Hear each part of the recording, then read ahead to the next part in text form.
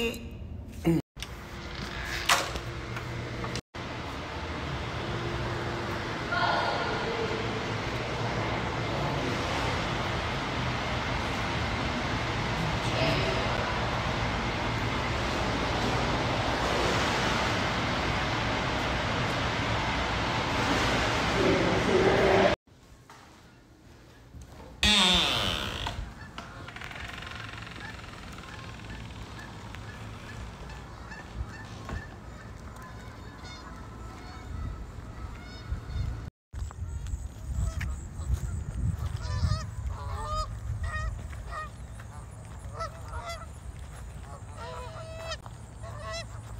There's an old man.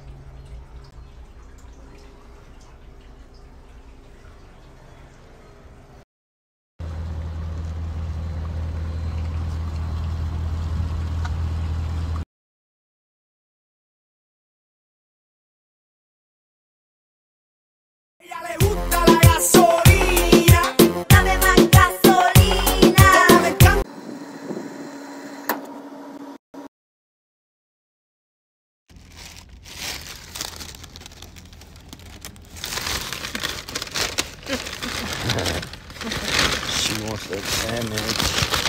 Is that chicken? Oh, yeah. Beef and a plant-based Oh hot dog. God. Tendies Mm-hmm. from Portillo's. Let's see what we got in here.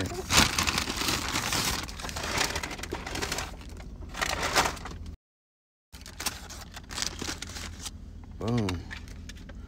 Looks like a hot dog.